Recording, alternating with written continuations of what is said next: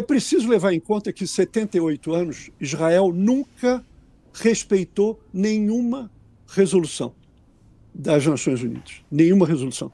É claro que ele uh, foi apoiado muitas vezes uh, no Conselho de Segurança pelos, uh, pelas potências ocidentais que têm poder que têm poder de veto. Né? E uma das potências ocidentais foi é, é a campeã campeã dos vetos.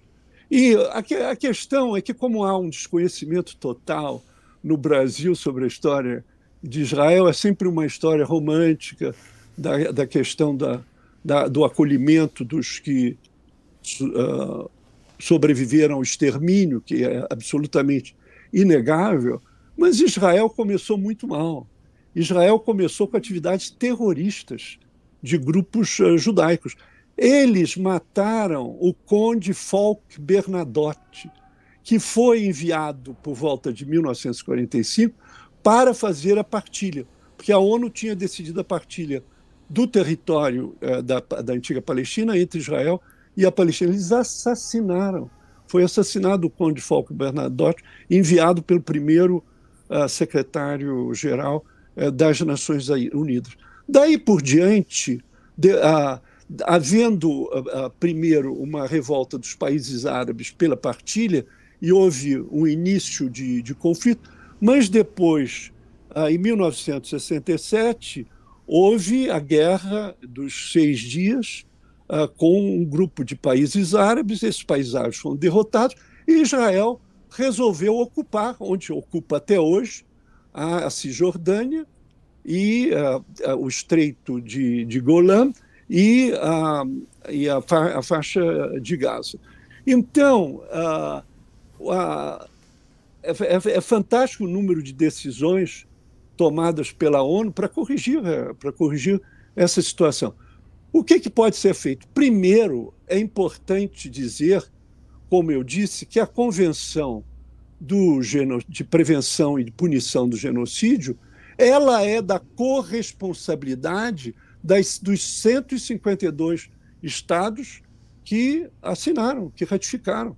Ele, eles têm uma, uma situação compartilhada de obrigar a, ao reconhecimento é, das decisões do julgamento de, de genocídio. E, por outro lado, que é uma história mais recente, que é o outro uh, Tribunal uh, Penal Internacional, uh, de dois, foi criado em 2002. Eu devo dizer com alegria que um dos países importantes da, da fundação do, do TPI, Tribunal Penal Internacional, foi o Brasil, com um grande diplomata, o embaixador Gilberto Saboia, que tinha presidido a Conferência de Viena de Direitos Humanos em 1993. Então, o Brasil está diretamente associado aos 123 países que reconheceram o Estatuto de Roma, onde estão alinhados os crimes que uh, Israel vem, uh, vem cometendo em termos desde a da interdição de, de, de uh, acesso aos alimentos, que foi um, a falta de alimentos como uma norma, como uma, uma, prática de guerra, isso apareceu muito bem na, na, na fala do, do procurador do ICC, que pediu a pena de prisão para alguns dirigentes do Hamas e para o, o primeiro-ministro Bibi e para o ministro da Defesa uh, de Israel. Então, primeiro, esse, todos os estados que ratificaram a Convenção do Genocídio e o Estatuto de Roma têm uma responsabilidade de fazer que Israel cumpra. De uma certa maneira, alguns países têm, uh, têm uh, feito isso em termos das manifestações uh, mais claras dos, dos dirigentes. Por exemplo, vários países ontem inclusive o Brasil, Itamaraty lançou uma nota perfeita na, na redação sobre esse bombardeio de, de em Rafa. O, os sionistas gostavam muito de falar das crianças decepadas e ontem eu vi, afinal, crianças decepadas pelo não só queimadas, carbonizadas, mas com bebês com a cabeça decepada no, no incêndio, no incêndio que se seguiu.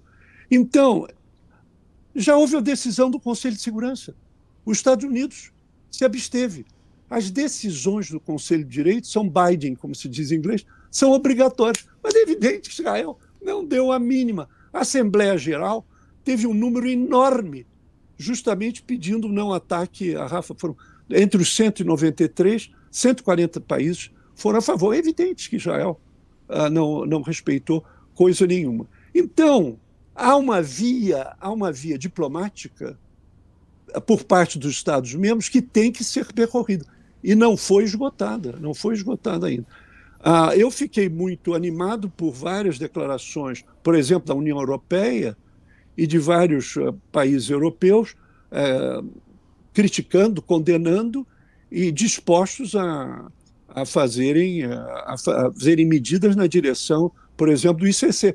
O primeiro-ministro da Alemanha, a Alemanha um, é um dos maiores sustentáculos de Israel, disse que se Bibi, passada, passada a lei, a ordem de prisão, porque eu preciso esclarecer, o procurador pediu as prisões, mas quem decide são três juízes. A presidenta é uma juíza, até da Romênia, que vai decidir por esses dias. E o primeiro-ministro da, da Alemanha dizia: se Bibi vier aqui, vai ser preso. Então, os, os estados que ratificaram precisam ajudar a cumprir as decisões.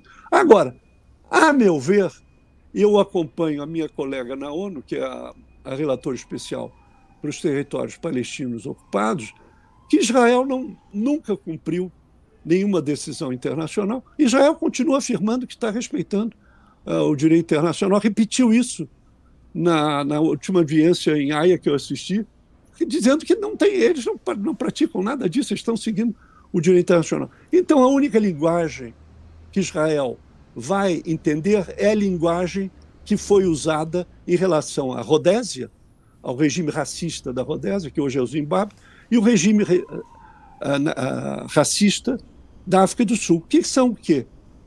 A quebra dos acordos comerciais, a suspensão do, dos investimentos, a, a, o levantamento do, dos convênios uh, culturais uh, e universitários e a, a suspensão de todas as transações comerciais.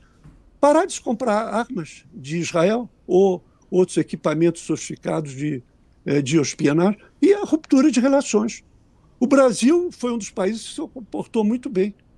Depois de, do, do ministro das Relações Exteriores de, de Israel, Israel considera o Brasil um anão diplomático. É assim que Israel trata o Brasil.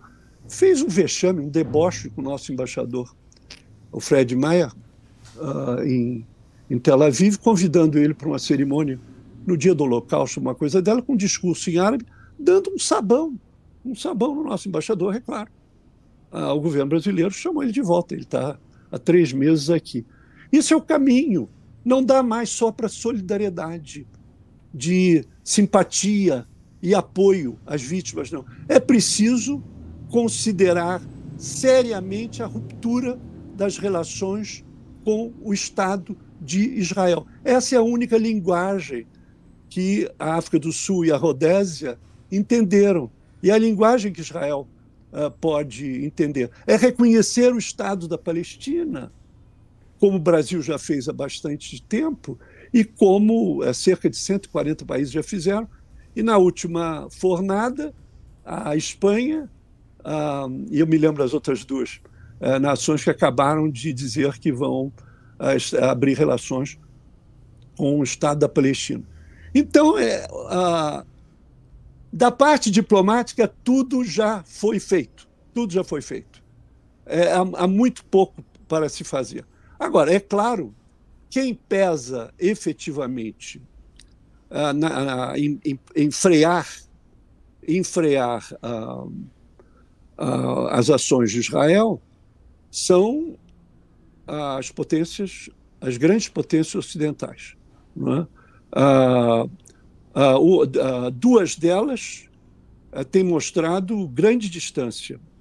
Uh, própria, a própria França, que votou a favor da, da resolução, não se absteve, a Inglaterra, o Reino Unido se absteve, Ah, e é evidente que foram acolhidas as, as falas do presidente Biden em termos de, uh, em termos de uh, Israel não ir avante no, uh, na, em relação a Hamas. Eu acho que o, os Estados Unidos têm um grande peso, uma enorme responsabilidade nisso. Caso contrário, Israel não parou ontem, ele continua hoje.